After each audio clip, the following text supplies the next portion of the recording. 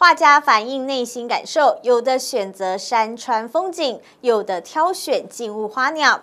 而台中这一位毛子林画家，则是选择用动物来反映心境。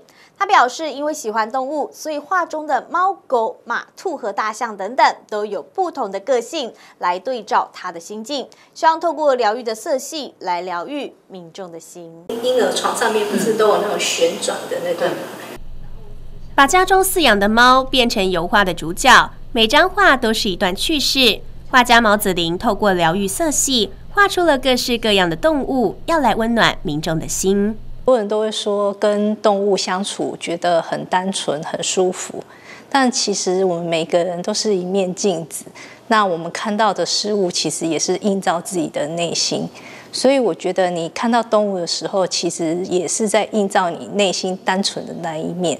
所以，我借由这些画作，让每一个人观赏者都可以去观察每一每一个画面所表现出来的时候，你内心的感受是什么？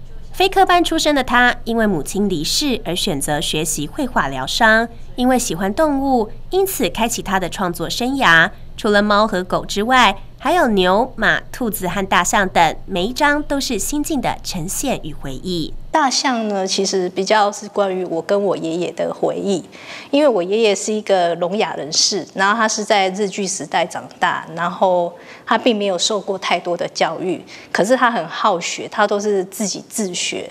那我小时候，我每天放学回家，我最喜欢做的事就是去撕那个日历纸。然后给我，我爷爷就会用他削的很短的铅笔，然后他就会开始画大象。透过动物拟人化，让每张画都像是绘本一样的梦幻。